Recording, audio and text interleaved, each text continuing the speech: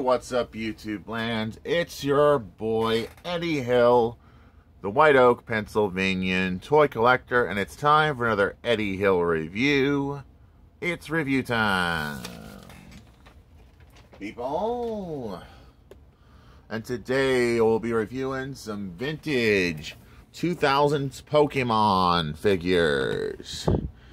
But as an apology to my fans, I'm sorry I didn't get on to yesterday's review.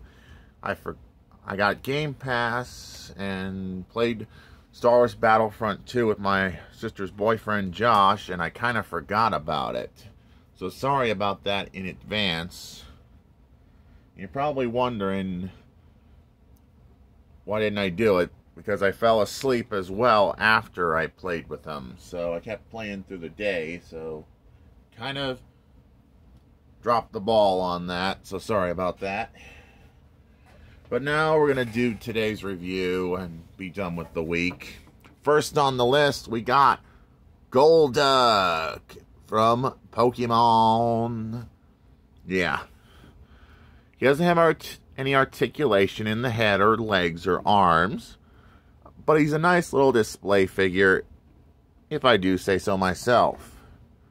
And we got a Sandshrew keychain. Oh, that's so precious. I love it. A golem. Little top thing. Roll it. It does that. And falls over on its own. And we got this Pokemon. I think it's from Johto. Pokemon Johto. But I don't know the name of it. But it's so cute and adorable. That's why I picked it up. Why not? But now we're going to get down to some comparisons with some other figures from the 2000s. First and foremost, we got the Pokemon Trainer Misty, which can go with Golduck. 2000s, a Pikachu based on the 2000s Pikachu. Why not? There I say, why not? If I can get him to stand and some other random Pokemon from other series. I do have this one, which is a legendary Pokemon. Yeah, legendary being the word. We got Blaziken. Can't remember what series he came from, but he's Blaziken. Why not? Evolved form of Oshawott. I think from black and white. And another topper thing it's a Pikachu. So yeah, we got quite a few of Pokemon action figures themselves, and we got some Pokeballs. Classic Pokeball, two of them we got, two. And a, another version of the Pokeball. I forget what this one is called. But yeah. Some epic Pokemon action figures I own as of 2022.